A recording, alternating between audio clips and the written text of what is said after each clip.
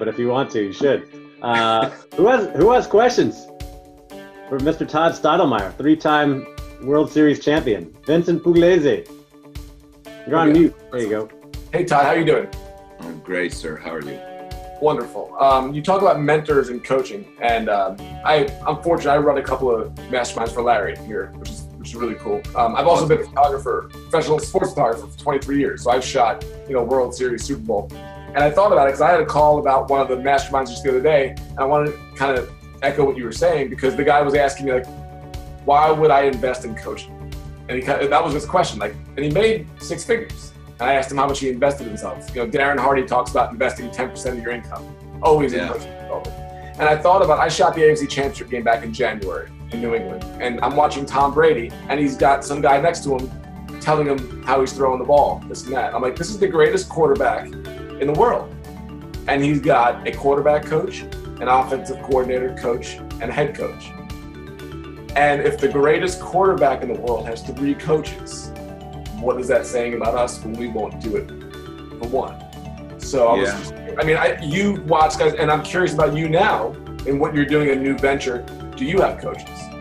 Yeah, great, great, great question. Um, you know what's funny is I have coaches for almost every aspect of my life today.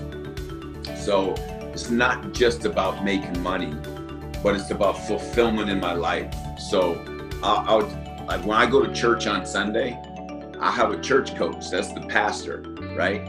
He's so I'm going there to serve, but he's pouring into me. And even though it's a group of people, he's my spiritual coach in this particular instance, right? Um, so you can hire trainers. That's a fitness coach for that wheel of your life.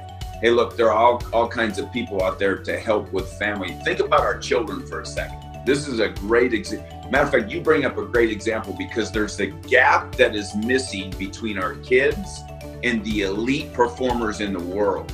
And that's usually generally us, for an example. Okay, so think about our kids for a second. They go to math class, they got a math coach they go to history class.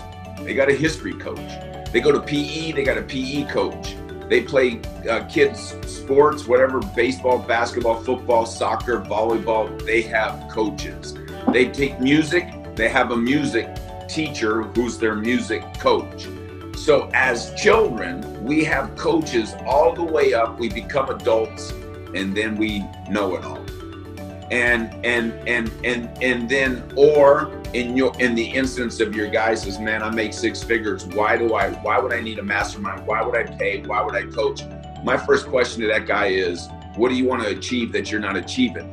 What desires do you have in your heart you're not living right now? And if you're not living them right now my question to you is is why not?